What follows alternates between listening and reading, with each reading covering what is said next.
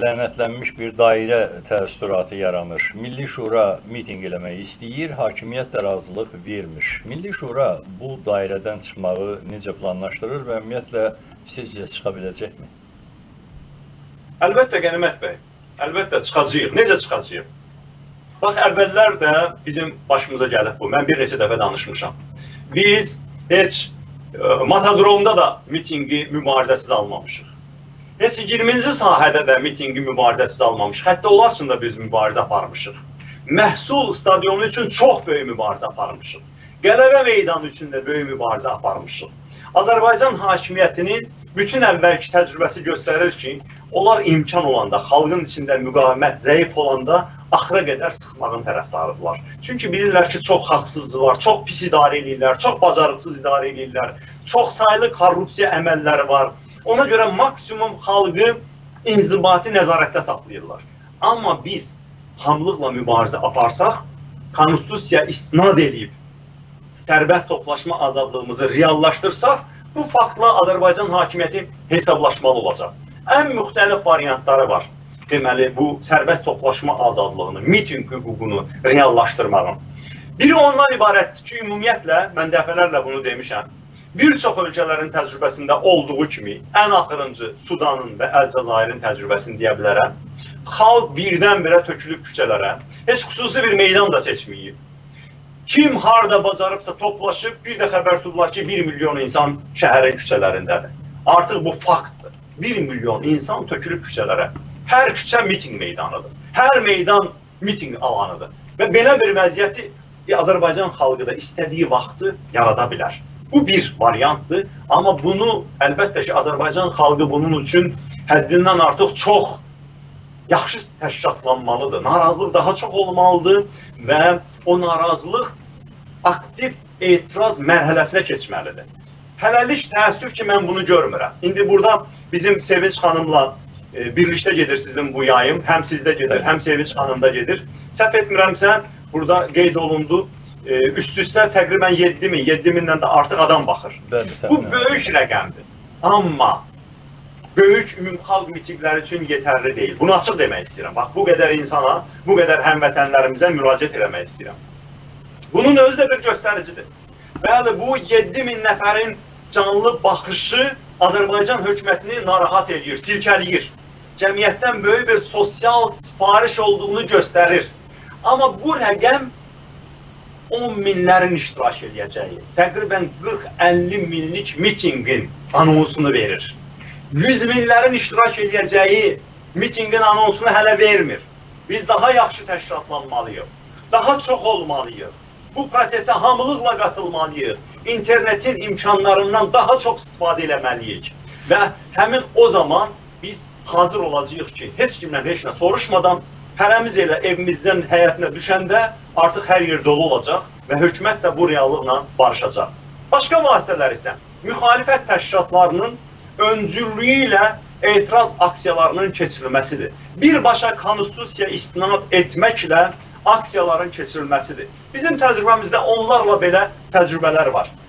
Piketlərin keçirilməsi, mitinqlərin keçirilməsi, yürüşlərin keçirilməsinə cəhd olunması. Hə, bu nə deməkdir? Əgər bu ümum xalq xarakteri daşımırsa, deməli bu olur bir e, belə çarəsizlikdən atılmış addım və bir qayda olaraq həbslər də olur bu hadisələr zamanı. Amma açıq deyək bunu, qarşılıqlı şəkildə iqtidar və müxalifət bir-birinə zərər verir.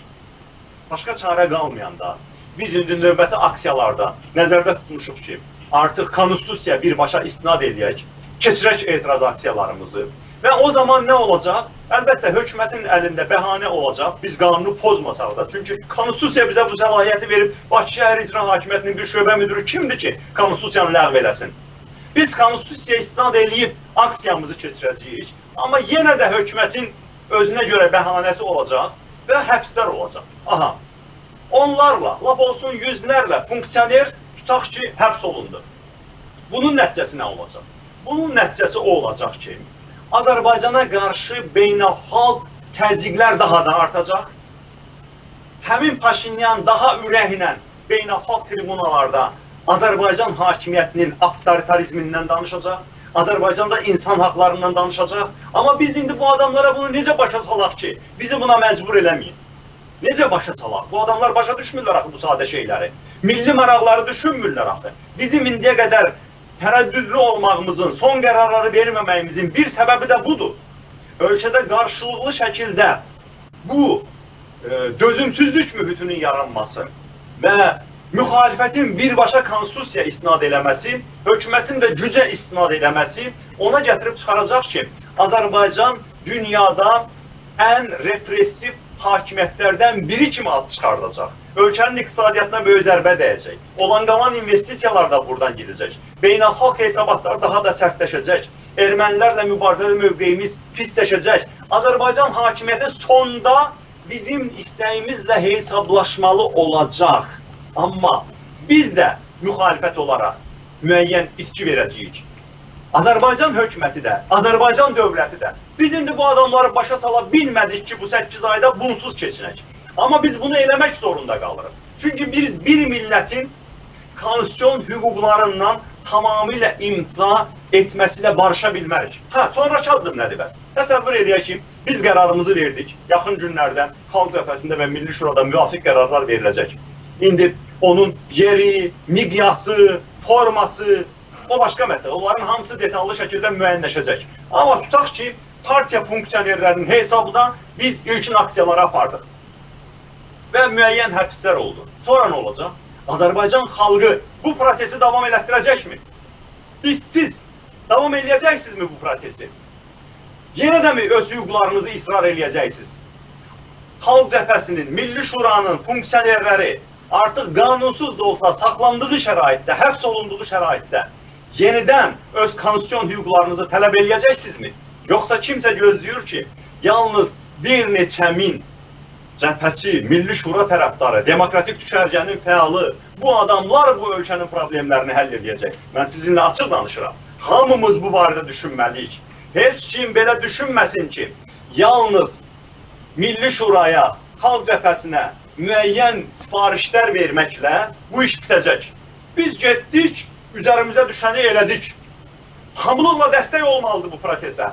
Qələbə üçün, xalqın hesablaşılması üçün, xalqla bu hakimiyyətin hesablaşması üçün mütləq kütləvi iştirak olmalıdır. Daha çox sayda insan tələb irəli sürməlidir. Millət olaraq, xalq olaraq hamılıqla iradə qoymalıyıq ortalığa. Biz bunu eləyəcəyik. Söhbət zaman məsələsidir. Bizim tərəfimizdən də müvafiq qərarlar veriləcək və icra olunacaq.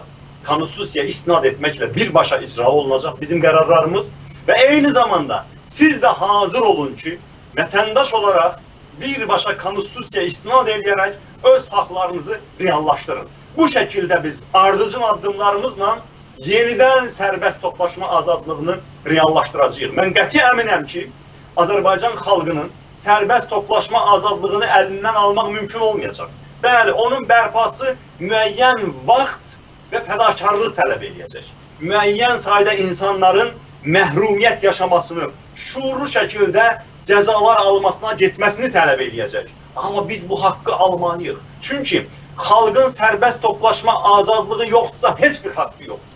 Bir millət ki, 10 minlərlə, 100 minlərlə toplaşıb, özünə hüquq tələb edə bilmir, seçki islahatı tələb edə bilmir, Qarabağ tələb edə bilmir, siyasi məhbuslara azadlıq tələb edə bilmir, uşaq pulu tələb edə bilmir, qaz, elektrik enerjisi limitlərinin ləğv olunmasını tələb edə bilmir, tibbi sığorta tələb edə bilmir.